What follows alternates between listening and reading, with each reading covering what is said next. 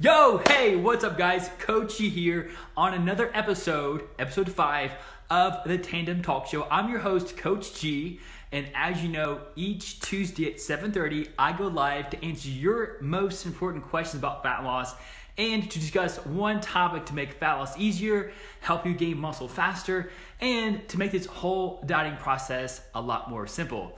As I mentioned, my name is Coach G, and I'm not wearing these funny looking glasses to make me look cool. These are actually my blue wave blocking glasses. In today's episode, I'm going to talk to you about my both my EV routines and my morning routines that help me stay focused, enhance my productivity, to help me achieve optimal performance throughout the day, and to also help me stay on track to achieve my body composition and nutrition goals. So, guys, these glasses, um, and again, they are called blue wave blocking glasses. They do exactly what they say. They block blue waves. So, what are blue waves? Blue waves are waves, you can't see them, at least I can't. And if you see like a ring here, that's the effect of having a ring light at nighttime. I had this light because it helps me see during videos.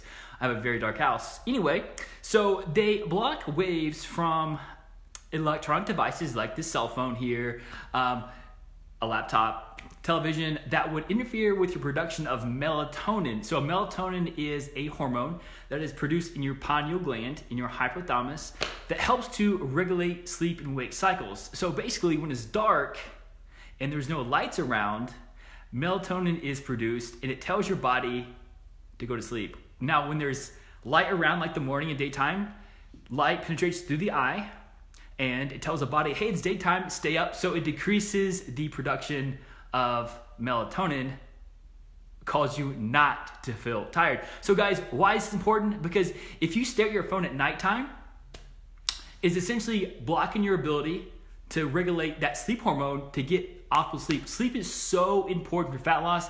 Guys, I have written extensively about the benefits of sleep on fat loss. Let me give you a few reasons why you need at least seven to nine hours of sleep a night. First off, number one, there has been substantial evidence that shows that people who get five or fewer hours of sleep a night going throughout a fat loss phase, they lose considerably more muscle mass and they gain body fat just from having this circadian disrupt from not getting a lot of sleep. Guys, getting sleep is so important. Another reason why it is tricky, not tricky, reason it's important to get a lot of sleep is because when you're not getting a lot of sleep, essentially it changes up your hormones.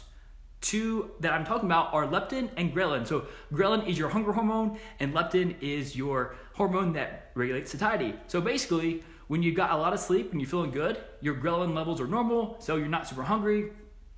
And your leptin levels like, hey, you know, I'm good as well. So you get proper satiation after eating meals. Guys, if you can hear me and if you like sleep, like I do, type sleep. I want to hear if you can hear me because I love videos, but I don't love videos so much that I do them twice. Hello, Karen. Thank you for joining. What's up, Amanda? Andrew, I think you, uh, I think I saw you on here, man. Welcome back to the show, man. I appreciate you.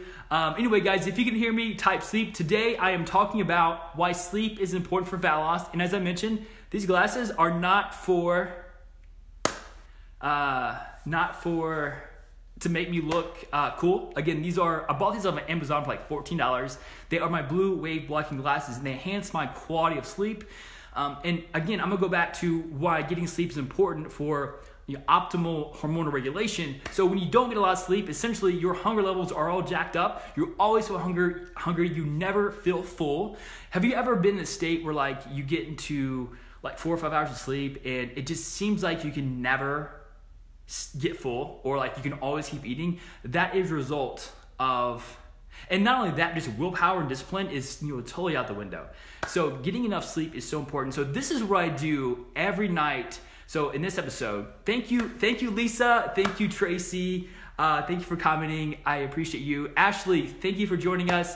Um, these are my blue wave blocking glasses that help me sleep. And this is what I do. This is my eating routine that helps me stay asleep and get good quality sleep. So thank you, Amanda. So basically, I go to bed every night at 9.30 because I get up at 4.30 every day. Now, the first thing I do is two hours out well, an hour and a half out, I get off my computer completely. I put on these glasses. So again, I live in a dark home. As you can see, it's super dark in here.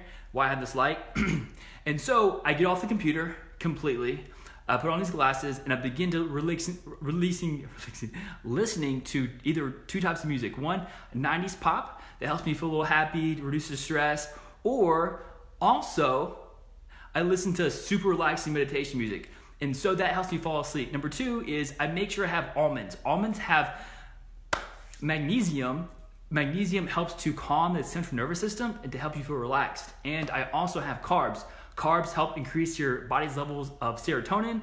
Serotonin, serotonin converts to melatonin, and that helps you feel more restful as well. I combine that with a book, um, and I read, and then in 30 minutes I am out by 9:30. Now, the key to getting up, the, the key to getting up on time at 4:30 is one. Uh, this is off topic, but I always write my reasons for why I want to get up early at a time. Plus, I have an accountability factor factor partner. His name is Bruno. Now, here's the deal with me and Bruno. Bruno's up in Michigan, and Bruno's also a nutrition coach. So here's the deal. I have made a pact with Bruno, and I, if you ever have like trouble sticking to a goal, I recommend one finding someone in your life that you can be held accountable to. And for me, it's Bruno. And Bruno, for every time I get up past 4:30, I pay him money. I don't like pay people money. Like, I don't even have a lot of money. So I pay Bruno, he's here. What up, dude? So I pay him money. Um, and same thing for him. What we do is every morning I, I sit in my bathroom and I take a picture of myself on Instagram. Don't worry, it's not like for the world. It, it, it I, I put the time on it and I send to Bruno. So he knows when I, when I get up. And so he does the thing, same thing for me too. So every morning we check, we literally check in on one another to see what time we get up. And if he doesn't get up before his time, then I'm sending him a request for money. And he has 24 hours to pay it or it doubles. And so we hold each other accountable because we know that our goals are important to us. So, guys, if you're looking for accountability in your life, find someone in your life that you can be accountable to. Ask them to hold you accountable by setting up a consequence. Saying, hey, listen, here's my goals, and here's what I want you to do um, if I don't achieve my goals.